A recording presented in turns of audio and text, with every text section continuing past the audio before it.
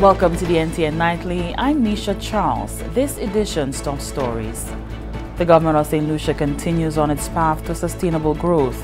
St. Lucia launches its list of summer festivals for 2020 and tourism ends 2019 on a high note. The government of St. Lucia is continuing on its path of sustainable growth. So says Prime Minister Honorable Allen Chastanet as he delivered his New Year's address to the nation on Sunday, January 12, 2020.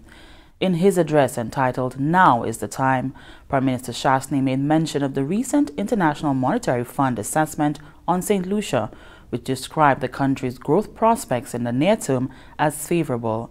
The Honorable Prime Minister projects that commencement of infrastructure projects will substantially boost growth in the 2020 to 2022 period. Unemployment, which was at 25% when we came in, has been reduced to 17% according to the most recent reports from the Statistics Department. And we anticipate a further reduction this year. The undisputed fact is that our economy has recorded growth in every single year since we took office. When I addressed you at the start of 2019, I spoke to the implementation of a number of our government's plans. Several of our signature projects are underway, especially in the southern part of the island. We're excited about the airport redevelopment project. Our first FBO private jet facility is now operational, and the rebuilding of St. Jude's Hospital continues at a rapid pace. The Prime Minister touted the success of the first international horse racing event in Vieux which attracted over 7,500 visitors. The public showed their overwhelming support for the project by coming out in spectacular fashion for this day at the races. Many had flown in from New York, Toronto, London, and all over the Caribbean region to participate in the rebirth of the South. The next race is scheduled for mid-February, just in time for our 41st independence anniversary. The Honorable Prime Minister outlined road infrastructure projects which are ongoing and still to come on stream. It is expected to cost nearly $350 million, the largest such investment in St. Lucia's history. We're addressing our road infrastructure with an island-wide road rehabilitation program. The upgrading of feeder roads, the rehabilitation of the West Coast Highway, and building on an East Coast Highway to more easily connect the north to the south, and thereby address the traffic congestion in the Gros Islet Highway. The financing of these projects is being provided by the Taiwanese and the CDB and other development agencies with the loans supported by the fuel and airport tax. Some of you have already seen the results with which the work in Cas-en-Bas Road in Gros Islet, the Forestier Road, the Timon Road in Union, the Saltibus Road in Choiseul, the Bel Air Road in Castries Southeast. Work is eminent for the road in Dennery Village, Blasha, Spring Roads in Micoud South, and the new development roads in Soufriere, just to name a few. The Ministry of Infrastructure's rehabilitation program will cost EC 110 million, the Millennium Highway and West Coast Road 130 million, the cul-de-sac bridge 30 million, the Choc bridge 22 million, and the feeder roads 50 million. Nearly $350 million in total. And that was the Honorable Prime Minister Allen Chastanet speaking at his New Year's address to the nation. St. Lucia nationals and visitors alike can look forward to the 2020 edition of its summer festivals. The Ministry of Tourism, Information and Broadcasting, Culture and Creative Industries, the St. Lucia Tourism Authority, and Events Company of St. Lucia, in collaboration with Jazz at Lincoln Center, launched this year's lineup, which runs from May to October. Janelle Norville reports. The 2020 edition of the St. Lucia Summer Festival promises to be even better than the last. With the continuous growth of the festivals, the government of St. Lucia has invested even more funds into the festivals so as to make it an even bigger success. Minister for Tourism, Information and Broadcasting, Culture and Creative Industries, Honorable Dominic Fedee, indicated that St. Lucia attained the highest number of visitors ever in 2019, approximately 400,000.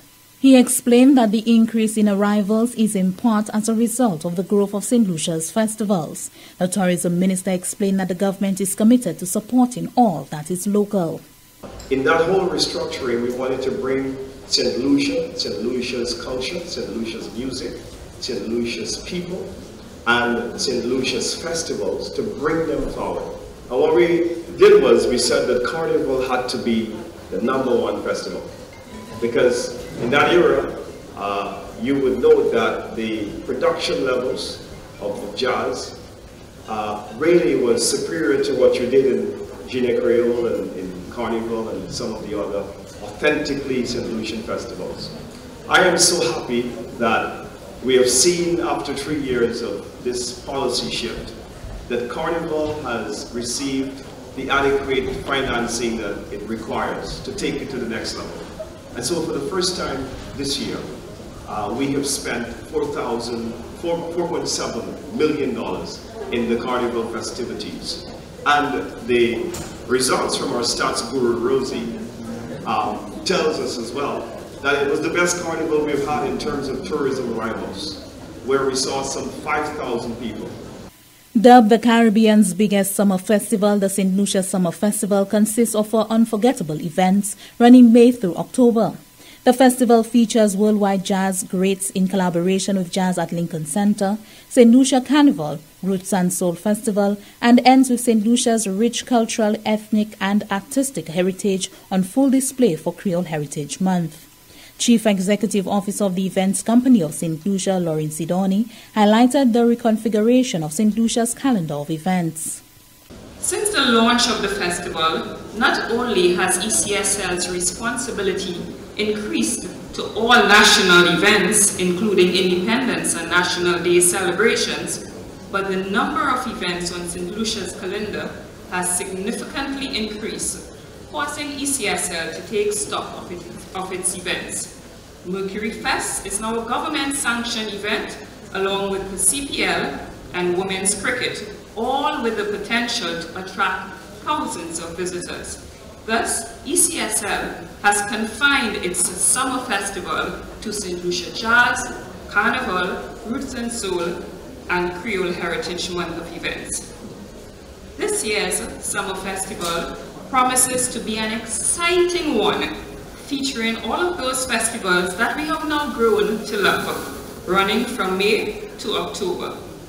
St. Lucia once again will collaborate with Jazz at Lincoln Center to produce the 2020 edition of St. Lucia Jazz. The CEO of Events Company of St. Lucia gave an introduction into the lineup, which includes American jazz pianist Chick Corea, trumpeter Alphonso Horne, and the Gotham Kings. Regional artist Maher Beauroy from Martinique will feature as well as international jazz artist Willie Jones III, celebrating Roy Hargrove. One of jazz's most sought-after drummers, Willie Jones III leads an all-star ensemble to celebrate the music of the late, great Roy Hargrove. Jones, who for nearly 10 years performed in Hargrove's best-known quintets and the powerhouse RH Factor, honors the trumpeter whose groundbreaking work influenced musicians across genres. St. Lucia Jazz in collaboration with Jazz at Lincoln Center is scheduled for the 7th to the 9th of May 2020, followed by St. Lucia Carnival with the Street Parade on the 20th and 21st of July 2020.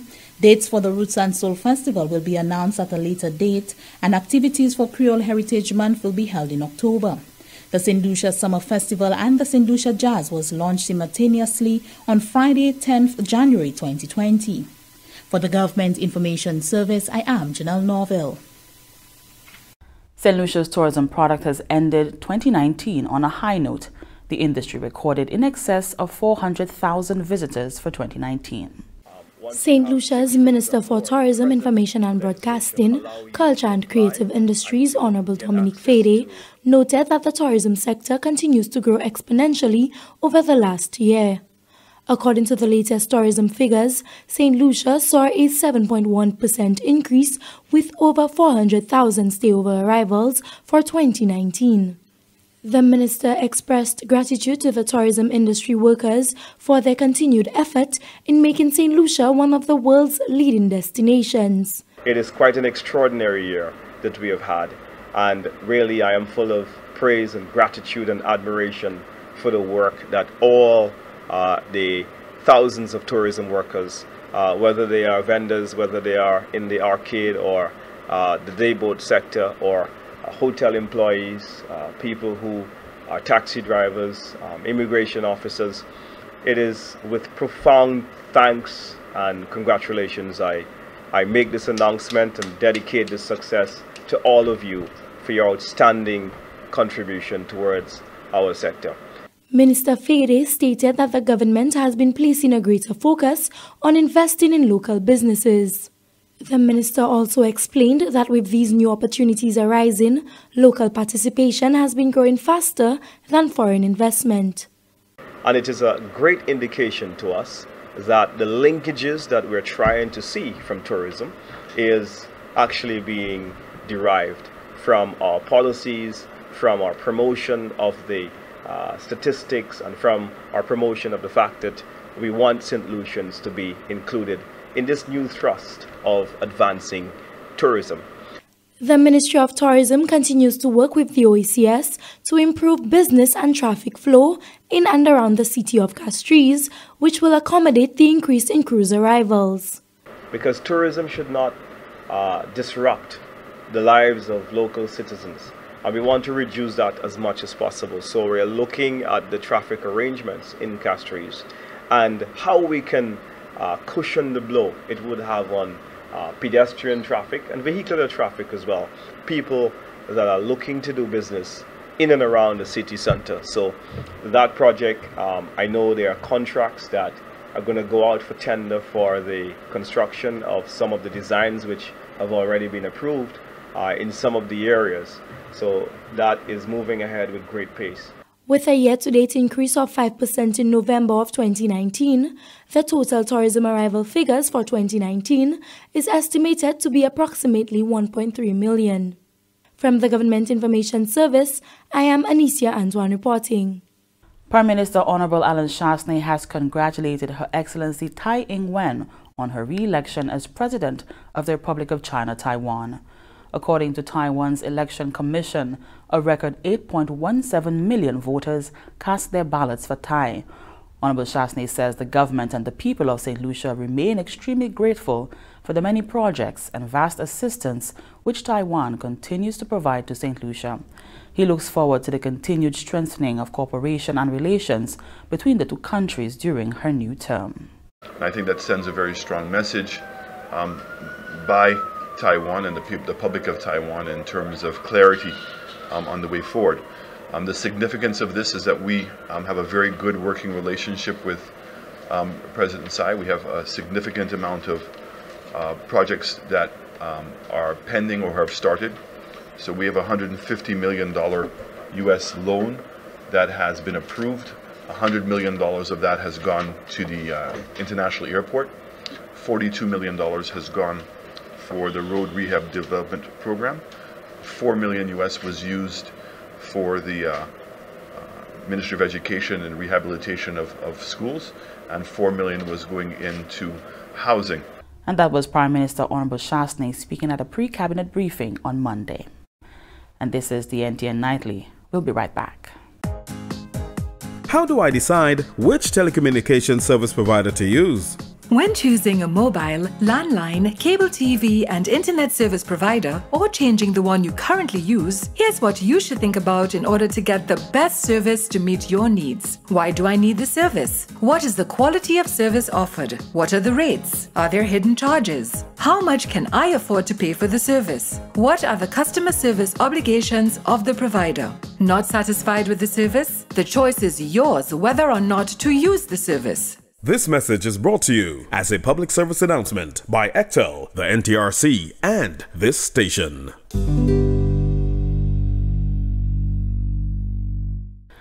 Welcome back. The year 2020 has been designated the International Year of the Nurse and Midwife by the World Health Organization. St. Lucia will be joining in the celebrations as it recognizes its nurses and midwives over the next 12 months. The country will also take the opportunity to help raise the status and profile of the profession by actions to alleviate the many challenges faced by nurses in St. Lucia. Courtney Storage is the Chief Nursing Officer. Globally, the nursing and midwifery workforce comprises almost 50% of the health workforce. In St. Lucia, it is no different.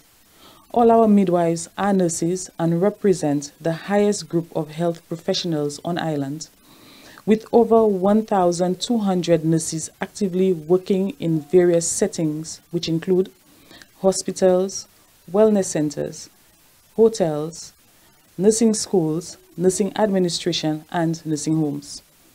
Nurses provide nursing care for patients from the womb to the tomb, from the beginning of life to the end. They provide nursing care not only to the sick, but also to the well, to ensure that they maintain good health. They administer life-saving vaccines and medicines to provide health and provide health advice among many other actions.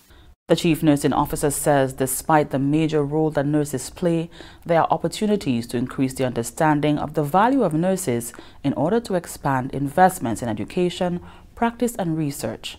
2020 is an opportunity to highlight the enormous sacrifices and contributions of the hardworking, dedicated and devoted nurses and midwives.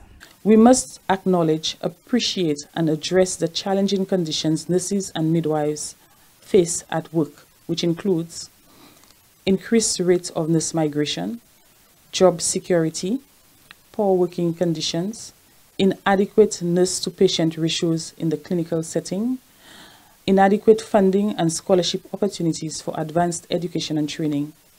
We look forward to increased investments in the workforce to improve such conditions. The management and staff of the Ministry of Health applauds all nurses in St. Lucia and thank you sincerely for your contributions and dedication to the health sector and to the people of St. Lucia. As Chief Nursing Officer, I celebrate this accomplishment with all the nurses and midwives in St. Lucia. 2020 is our chance to shine. It's our chance to showcase and to celebrate our profession. And in keeping with changes in international oil prices and government's application of the modified market pass-through petroleum pricing mechanism, the retail price of kerosene and diesel has changed. The retail price of gasoline, LPG 20, 22 and 100 pound cylinders remains unchanged. The price changes take effect from Monday, January 13, 2020. Gasoline remains unchanged at $13.24 per gallon. Kerosene increased from $8.12 to $8.30 per gallon. Diesel increased from $13.29 to $13.36 per gallon. The 20-pound cylinder remains unchanged at $32.12 per cylinder. The 22-pound cylinder remains unchanged at $35.61 per cylinder, and the 100-pound cylinder remains unchanged at $204 and 42 cents per cylinder. The next adjustment of the retail price of fuel products will be on Monday, February 3rd, 2020.